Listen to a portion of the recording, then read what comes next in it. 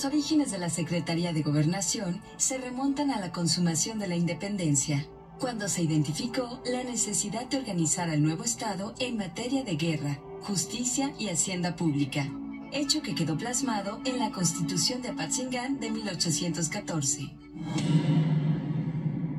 Fue en 1821 y ante la urgente necesidad de organizar al país que se conformó la Junta Provisional Gubernativa, misma que marcaría el actuar de la Secretaría de Relaciones Interiores y Exteriores, que tenía a su cargo las funciones de gobierno general. Con el tiempo, se presentó la necesidad de especificar el actuar de las recién creadas instituciones.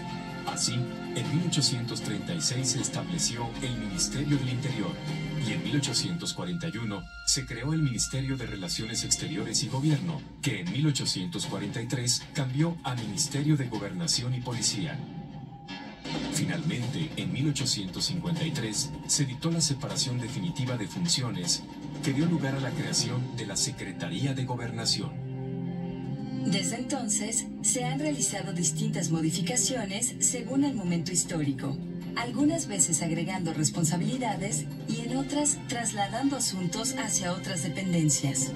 Sin embargo, la Secretaría de Gobernación siempre ha mantenido la responsabilidad originaria de la gobernabilidad que el país requiere, fortaleciendo y salvaguardando los valores democráticos que los mexicanos hemos conquistado.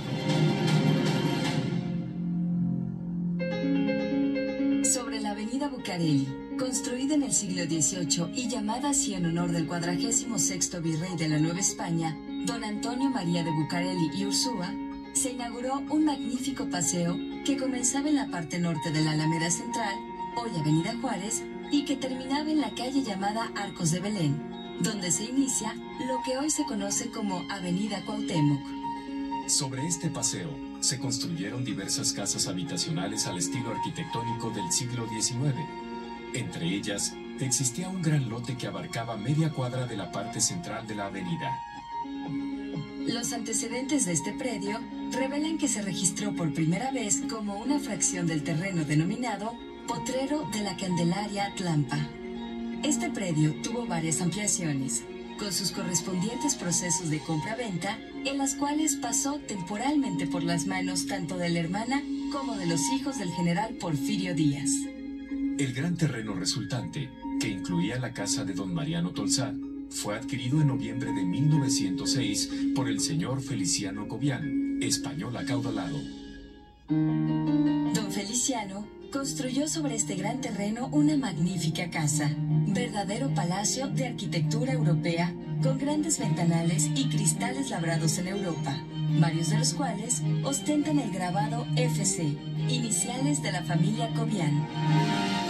En 1910, por instrucciones de don Porfirio Díaz, el gobierno federal adquirió el llamado Palacio de Cobián y fue en mayo de 1911 cuando se instaló aquí la Secretaría de Gobernación. La construcción de este magnífico palacio fue dirigida por el ingeniero Rafael García y Sánchez Facio. Algunos autores, sin embargo, afirman que el diseño se debió al arquitecto mexicano Emilio Dondé, educado en los cánones de la Escuela de Bellas Artes de Francia. El Palacio de Cobián fue concebido a semejanza de un palacete europeo. Su estilo es ecléctico e historicista, a la tendencia racionalista presente de la época, en la que resalta un manejo libre de las formas. No se trataba de renunciar al pasado, sino de hacerlo resurgir a partir de las necesidades que imponía el nuevo estilo de vida. Para su fachada principal se utilizaron cantera y piedra pulida sin muchos ornamentos, con elementos más sobrios y tradicionalmente aceptables, aunque no por eso menos refinados, y aunque no es de una gran dimensión, sobresale su realeza.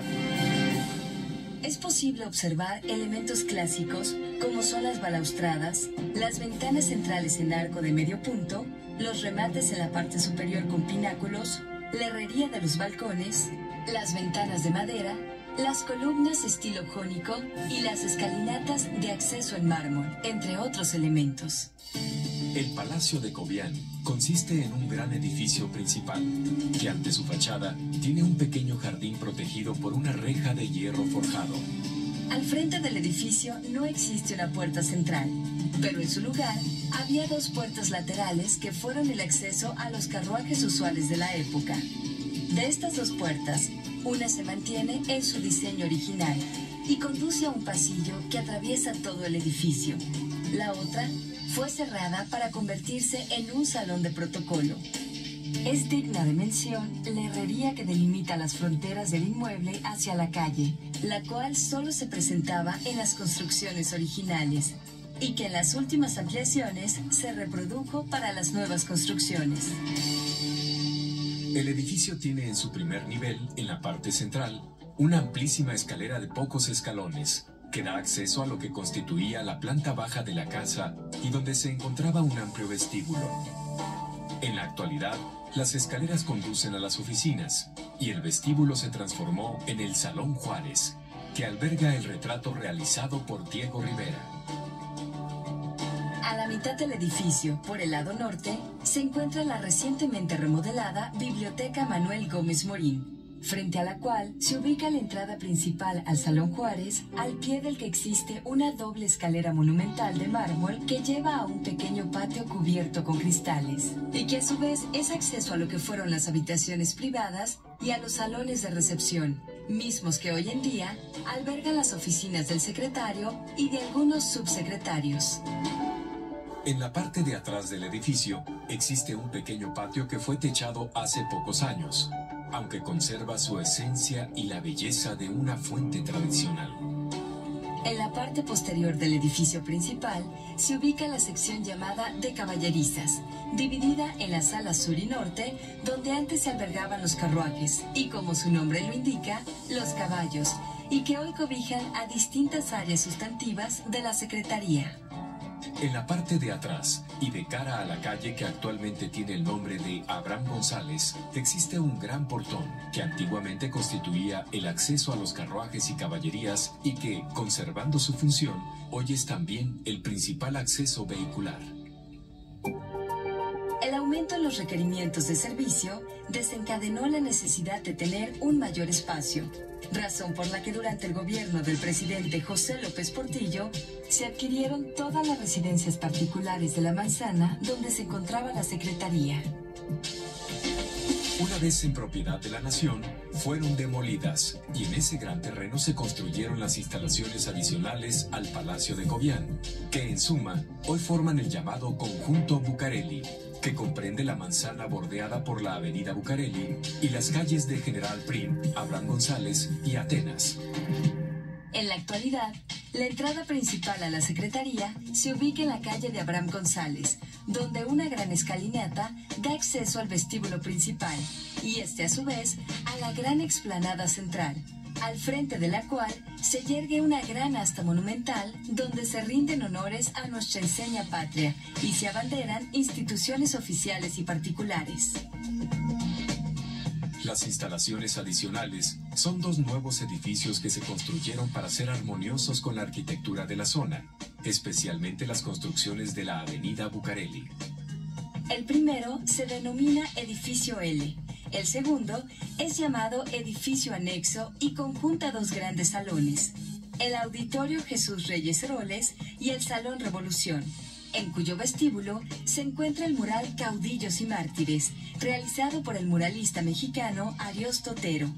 Estos salones se usan para los actos oficiales y culturales que organiza la Secretaría.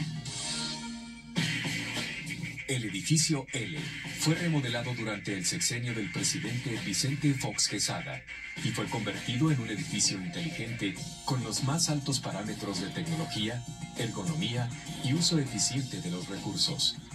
Actualmente es sede de primer nivel para diversas áreas de la Secretaría y constituye el ejemplo de una nueva forma de concebir los espacios gubernamentales al mezclar con armonía el patrimonio histórico del Palacio de Cobián con los nuevos tiempos.